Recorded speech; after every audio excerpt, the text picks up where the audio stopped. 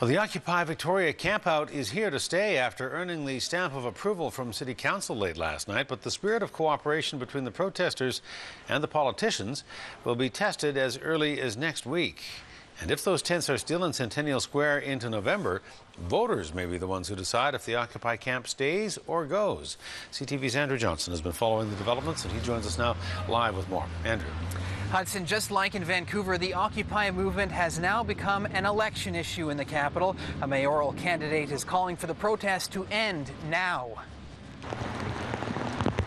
It's raining on Occupy Victoria, but the movement is now safely under the protective umbrella of City Hall. I can't tell you the amount of emails and uh, phone calls of support that I've gotten this morning over yesterday's council motion.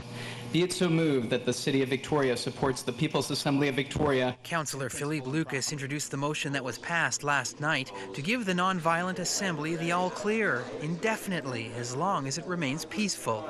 But today, the mayor makes it clear he's assessing the protest and where it's headed day by day.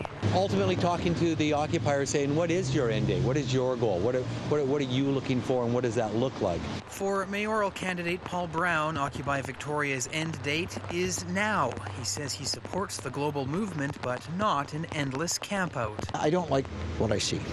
I think we need to send a strong message that this needs to come to an end.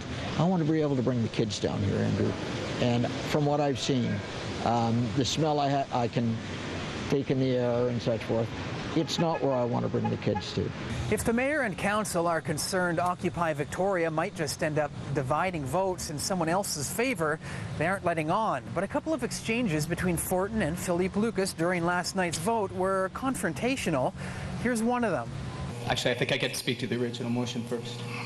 I'm actually trying to keep it short. You're going to speak to it. She's Yep. going to amend to it. You might argue. Can we at Yep. least hear the no, I'd, amendment I'd first? like to, I'd like to speak to it first, please.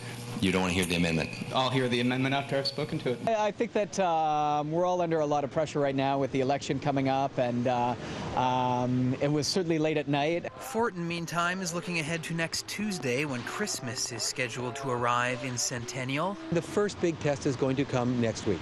We're going to need to go in um, and put up the Christmas lights. Protesters have agreed to cooperate. Three weeks after that, they'll be asked to slide over to accommodate an outdoor skating rink. Hudson, both the politicians and the prote- protesters acknowledge the existence of Occupy Victoria may play quite a role come election time in November. Does that cheapen the movement? Not so, says Philippe Lucas, who says if it's engaging more people in the process of voting, that's a good thing. Either way, you have to wonder if some of those up for re-election aren't secretly wishing right now this protest could have popped up some other time. Absolutely. Andrew, thank you. You're welcome.